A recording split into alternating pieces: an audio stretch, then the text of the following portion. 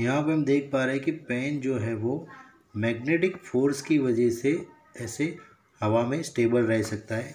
ये दोनों चुंबक जो है वो आकर्षण की स्थिति में रखने हैं। ये जो चुंबक है वो पेन के साथ ऐसे जोड़ रखे जैसे वो फिट रहे।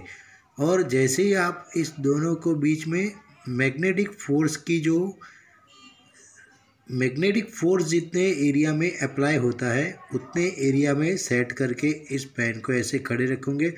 तो ये पेन जो है वो मैग्नेटिक फोर्स की वजह से ऐसे हवा में खड़ा रहेगा।